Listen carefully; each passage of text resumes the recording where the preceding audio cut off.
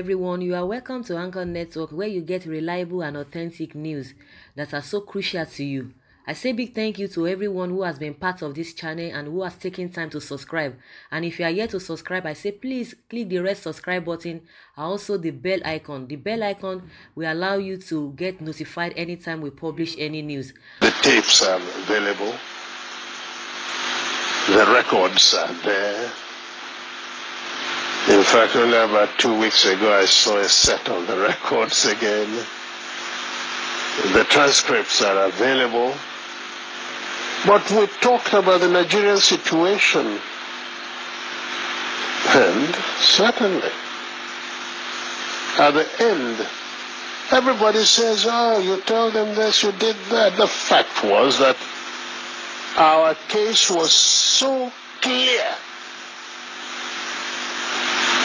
that I actually, I actually believe at the end of Aburi that the problem was not Gowon, but probably some ambassadors in Lagos who were uh, pressing for something else. Because we understood each other. We agreed on every single point. The drafting was, in fact, my chief secretary with two other chief secretaries from the other side. They said, no, no, no. And drafted and agreed. We looked at it, we agreed. General Ankrah read over the whole uh, report again to us at the end. Asked us if we wanted to amend anything. No. At the end of all that,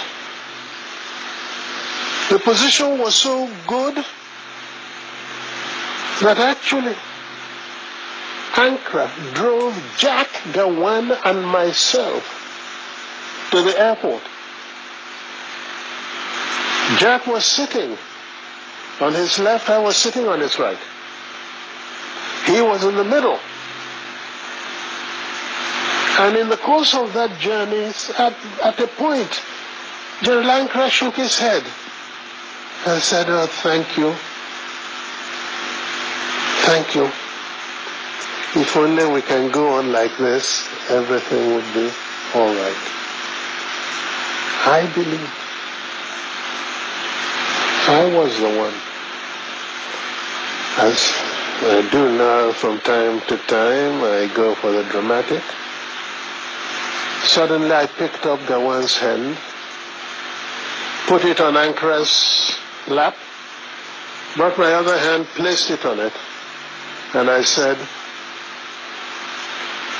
General, sir, hold us together, I want to say something. So General Ankrah put his hand on top of the two hands, and I said, General, I want to assure you that I am totally satisfied with everything we said. I will even go further and say to you something I did not say at the conference, and that is that once we have implemented everything we have said, I would ask you for one favor and one favor only and that would be to be the one to propose Jack Gowon as a head of state of Nigeria.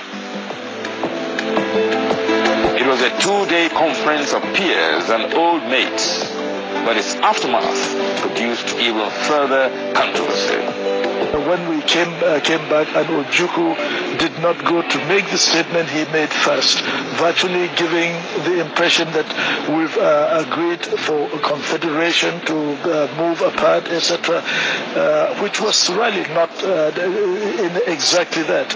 Uh, if I had had the, the, the opportunity to make my broadcast in first because that was the agreement, not for him to make the, uh, the uh, broadcast first. Then, if I had committed myself to what he said, then there, there wouldn't have been any problem. But uh, he went and said certain things that certainly looked wrong, and therefore we saw in practically everything he did I think it was uh, uh, for uh, to uh, play up uh, you to uh, the, the, gallery not being sincere. At Aburi, yes, we agreed on um, area commands for the armed forces. At Aburi, we agreed that the police force would be decentralized. We agreed on those. Yes. We agreed. Even to show that we didn't separate, at Aburi we also agreed on a certain revenue formula. That's what happened at Aburi. Aburi again, because I always end up, this sounds odd today, but I always end up by saying I must have been naive because I believed actually that that would be the end. I'll confess to you, when I got back to Enugu, oh yes, I had it, I mean, I had a party believing that probably the danger was over. That's what we thought. Until they then began to deny everything.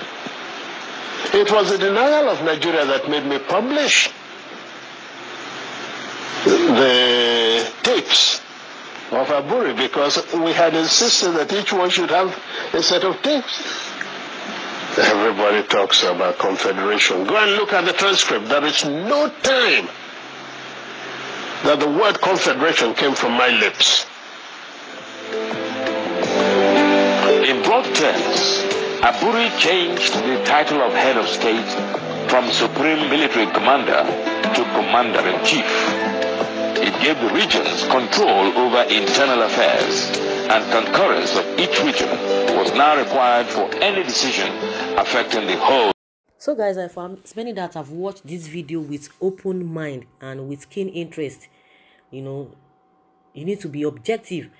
And you will agree with me that what we are experiencing today is uh, the effect of what has happened before now. And there's still a lot of betrayal there's still a lot of distrust there's still a lot of selfishness greed you know name it and that's why we are not making progress we are not moving forward and that's why some people have called out on uh, Gowon to speak on what he knows on what happened on the role he played. We know a lot of people play some roles even Obasanjo too but it's like everybody just playing political correctness. I don't want to say some things. If you say anything it seems or it means that you are uh, being you are being uh, divisive. You want to divide the country. Anybody that wants to say the truth oh you want to divide the country now that they have brought back the history you know to the uh, nigerian curriculum to our educational curriculum i think it's, it will go a long way. If people who are even going to be teaching it if you are really, if they are really in depth of what really happened because i know that there's a kind of disjointed uh, truth you know along the line.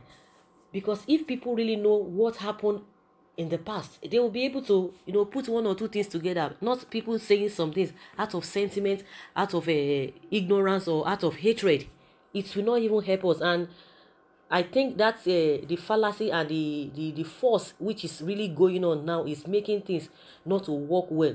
You will hear some people oh presidency must come to this zone presidency must go to the other zone and all of that. There is this uh, division, there is this hatred, there's this distrust among our political leaders.